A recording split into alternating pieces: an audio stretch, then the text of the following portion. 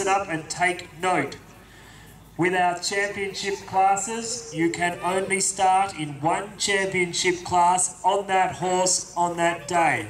There are two junior championship classes today.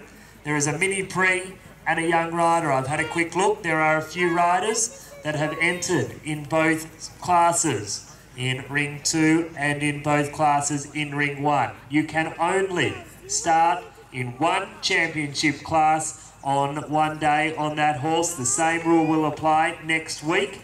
You are responsible to uh, your own entries. We're not here to mother you along.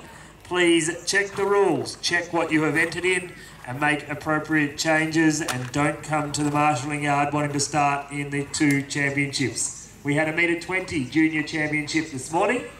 That horse cannot start in the metre 10 championship this afternoon. Likewise, if you have started in the Mini Prix, you cannot start in the Young Rider Championship this afternoon on that horse. You can on different horses, but not on that horse. Please make note, please make sure your entries are correct, particularly as we are here right through until next Sunday with competition. The same rules apply for both weekends.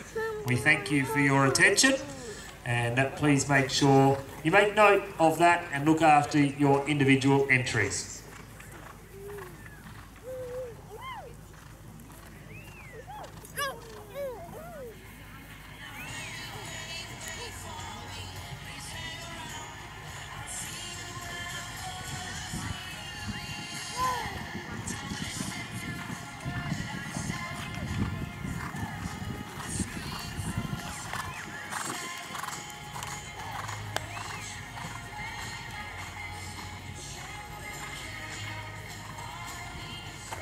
Yeah.